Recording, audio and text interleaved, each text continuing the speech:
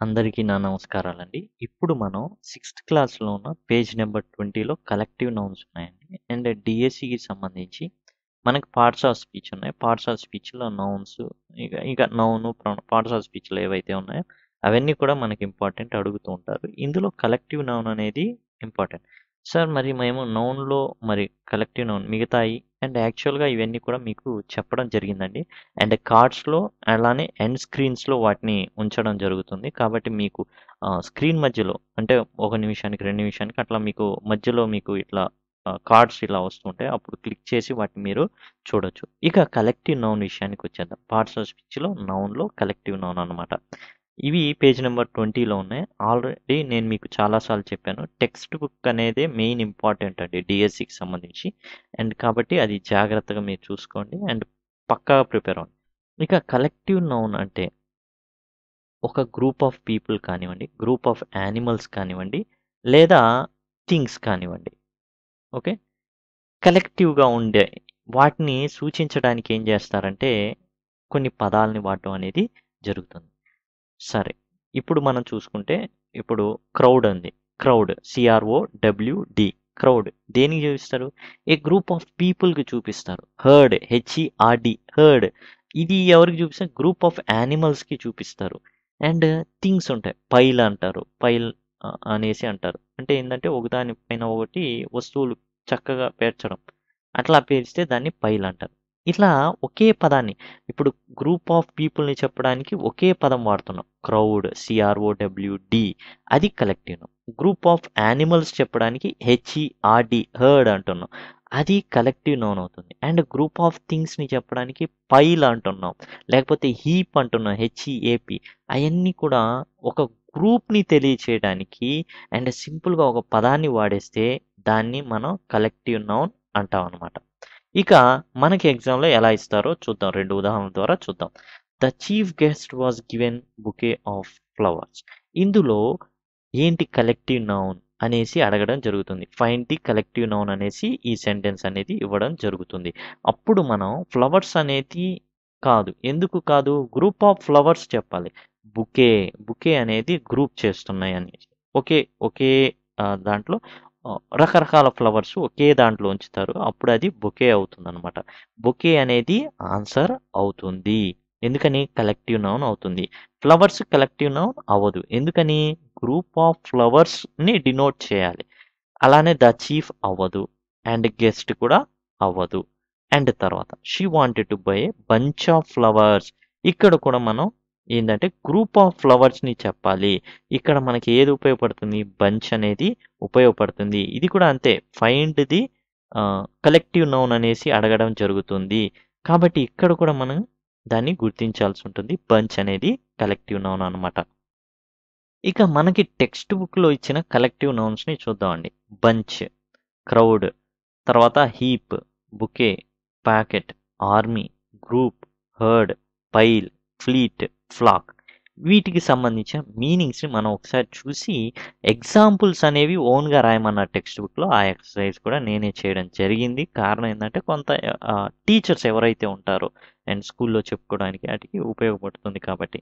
ఇక చూసుకుంటే బంచ్ అండి. బంచ్ అంటే a number of things typically of the same kind ఒకే రకమైన వాటిని ఒకే చోట చేరిస్తే వాటిని బంచ్ అంటాం. Bunch of flowers, bunch of grapes ఒకే రకమైన కాయలు బంచ్ ఆఫ్ గ్రేప్స్ పూలు పూల వరకు ఒకే పూల పూలు వరకు బంచ్ ఆఫ్ ఫ్లవర్స్. ఆ తర్వాత క్రౌడ్ అండి. Large number of people gathered together అంటే క్రౌడ్ అంటే తెలుసా? గుంపు. ఓకే. తర్వాత bouquet attractively arranged bunch of flowers. And bouquet అంటే తెలుసు మనం పార్టీలకి, ఫంక్షన్లకు వెళ్ళేటప్పుడు అండ్ పుట్టినరోజులప్పుడు పూలు ఏవైతే ఉన్నాయో చక్కగా పేర్చి వాటిని ఒక కవర్‌తో చుట్టేసి ఇవ్వడం జరుగుతుంది. అదే బొకే. బొకే కూడా ఏమొస్తుందంటే ఇది కూడా మనకి యాక్చువల్‌గా టెక్స్ట్ బుక్‌లో ఇవ్వలేదు బొకే అని. కాకపోతే ఇది కూడా కలెక్టివ్ నౌన్ కింద వస్తుంది. హీప్ అంటే untidy disordered collection of object అండి. హీప్ ఆఫ్ బ్రోకెన్ ఇమేజెస్ అని వాడడం జరుగుతుంది. చాలా పాపులర్ అన్నమాట. హీప్ ఆఫ్ బ్రోకెన్ ఇమేజెస్ అనే సెంటెన్స్ అనేది. ఆ ఫ్రేజ్ అనేది. కాబట్టి ఇదేంటంటే హీప్ అంటే అసలు చిందరవందరగా పడేయడం అనమాట అంటైడి అంటే ఎట్లా పడితే అట్లా పడేయడం. డిజార్డర్డ్గా ఉంటాయి అన్నమాట ఒక ఆర్డర్లో ఉండవు. వాటిని హీప్ అంటాం. అదే ఆర్డర్గా పెట్టాను అనుకోండి పైల్ అవుతుంది. పుస్తకాలన్నింటినీ ఒక ఆర్డర్లో పేరిస్తే పైల్ అవుతుంది. అది కూడా చూద్దాం. తర్వాత చూడండి ఆర్మీ ఆర్మీ అనేది కూడా ఒక గుంపే. ఎవరి గుంపు? సైనికుల గుంపు. A large number of people or soldiers herd a large group of animals animals అనమాట అంటే ఎక్కువ సంఖ్యలో కనుక ఈ యొక్క జంతువులు కనుక ఉంటే వాటిని మంద అంటాం. మంద అని హర్డ్ అంటే మంద అని అంటాం పైల్ పైల్ అన్న పోగు పడ్డమే. కాకపోతే ఏంటంటే he heap of things laid are lying one top of the another అంటే ఒకదానిపైన ఒకటి పేర్చడం అనమాట వేటిని పేరుస్తాం? ఎక్కువగా పుస్తకాలని పేరుస్తాం. ఇట్ ఇటుకలు అలాంటివి పేరుస్తుంటాం ఒకదాని మీద. జనరల్గా పుస్తకాలను పేరుస్తాం. ఏ పైల్ ఆఫ్ బుక్స్ అంటాం. అంటే ఒక వరుస ఉంది అనేసి ఒకదాని మీద ఒకటి పెట్టేసి. తర్వాత ఫ్లీట్ అంటే గ్రూప్ ఆఫ్ షిప్స్. అంటే నావలు లేకపోతే పడవలు ఏవైతే ఉన్నాయో ఒక గుంపు లేకపోతే ఒక ఒక ఒక పది దాటిని ఒక గ్రూప్గా ఉంటాయి కదా అట్లా ఫ్లీట్ అంటాం వాటిని.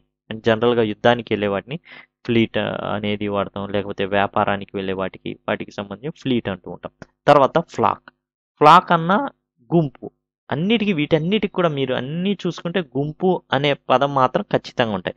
ఏ గుంపు అంటే ఫ్లాక్ అంటే పక్షుల గుంపు ఫ్లీట్ అంటే పడవల గుంపు అలా అన్నమాట. పైలన్న ఆ విధంగానే ఉన్నాయి హర్డ్ మంద ఆర్మీ అనేది గుంపు సైనికుల గుంపు. అట్లా ఈ కలెక్టివ్ నౌన్స్ ఏవైతే ఉన్నాయో అన్నిటికి కూడా గుంపు అని రావడం మాత్రం సహజంగా ఉంటుంది. ఇప్పుడు మనం కలెక్టివ్ నౌన్స్ విత్ ఎగ్జాంపుల్స్ చూద్దాం. అండ్ బంచ్ అంటే మనం చెప్పుకున్నాం. అండ్ ఒకే రకమైన వస్తువులు కనుక ఒక చోటు చేరిస్తే I received a bunch of grapes. అంటే ద్రాక్షకాయల గుత్తి అంటాం జనరల్గా. తర్వాత క్రౌడ్ గుంపు I saw huge crowd. Heap. Heap అన్న అంటే ఒక చోట పోగు చేయడం అని. They are heap of broken images. Okay? Sorry. And they are heaps of broken images అని ఉండాలి. అండ్ ఫుల్ స్టాప్ ఉండాలి. అండ్ టైపోగ్రాఫికల్ ఎర్రర్ అనమాట అండ్ అంటే టైప్ చేయడం కొంచెం mistake. They are heaps of broken images. అంటే broken images they are heaps of broken images చాలా waste ల్యాండ్లో చాలా పాపులర్ ఫ్రేజ్ ఇది. హీప్స్ ఆఫ్ బ్రోకెన్ ఇమేజెస్ అనేది దీన్ని వాడడం జరిగింది. అండ్ హీప్ అన్న పోగు చేయడం అనమాట అండ్ పగిలిపోయిన ఏవైతే లేకపోతే విరిగిపోయిన వాటిని ఒక చోట పోగు పడేయడం. అండ్ బొకే మనకు తెలిసిందే పూల సంబంధించింది. The chief guest was given a book of flowers and packet. We gave a packet of sweets to children. తెలుసు కదా ప్యాకెట్. అందులో స్వీట్స్ యొక్క ఇవన్నీ ఉంటాయి. గ్రూప్ ఉంటుంది. స్వీట్స్ ఉంటాయి. రకరకాల స్వీట్ని ఉంచేసి ఇవ్వచ్చు. అండ్ ఆర్మీ అంటే చెప్పుకున్నాం. సైనికుల గుంపు. A huge army? Awaits to attack. And తర్వాత గ్రూప్. గ్రూప్ అంటే సమూహం మామూలే. There are several groups out there herd అంటే మంద. I saw herd of cattle coming towards us ఇక్కడ మనం చూసుకుంటే ఈ కమింగ్ అనేది ఏమవుతుంది? జెరెండ్ అవుతుందా? ప్రజెంట్ పార్టిసిపుల్ అవుతుందా? అంటే ప్రజెంట్ పార్టిసిపుల్ అవుతుంది. ఎందుకు అవుతుంది అంటే ఇక్కడ సెన్సారీ వెర్బ్ అనేది ఉంది. అది మనం ఆల్రెడీ వీడియోస్ చేసి అన్నాను చూడండి ఒకసారి. And pile there are several piles of books okay piles అనేది బుక్స్ అంటే ఒకదాని పైన ఒకటి మనం పేర్చడం అనమాట పైల్ అంటే పుస్తకాల సమూహం అనేసి. అండ్ ఫ్లీట్ నావల సమూహం లేదా పడవల సమూహం. అండ్ ఫ్లాక్ అంటే జంతువుల సమూహం. ఓకే ఐసా ఫ్లాక్ అనేది పక్షుల సమూహం అండి. హర్డ్ అనేది జంతువుల సమూహం అనమాట అది గుర్తించండి. జనరల్గా ఒకే రకమైన తిండి ఒకే రకమైన పక్షుల గుంపుని ఫ్లాక్ అంటూ ఉంటారు. అండ్ ఒకే చోటకి వెళ్ళిపోతూ ఉంటాయి ఒకేసారి.